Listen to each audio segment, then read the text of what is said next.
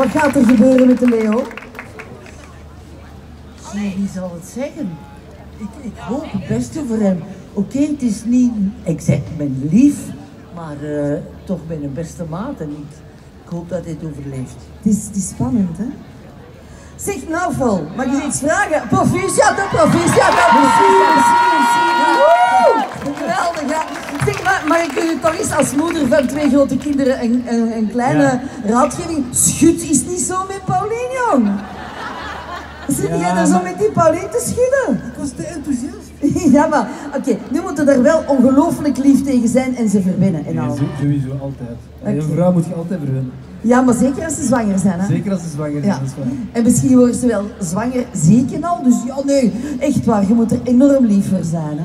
Voilà. Maar ik vind het wel goed hè, dat de Pauline zwanger is. Vinden jullie Ja, het dat is goed, hè? Ja, ja, Pauline. Zeg, Ben, dat was tof, hè? Ja, zeg, Ben, ga, gaan Rosa en Steven nu altijd samen blijven? Gaan Rosa en Steven nu altijd samen blijven? Ah, wel, ehm, ja, nogmaals. Ja! We hebben een hele zomer om daarover na te denken. Dat is waar, we gaan daar eens serieus over nadenken.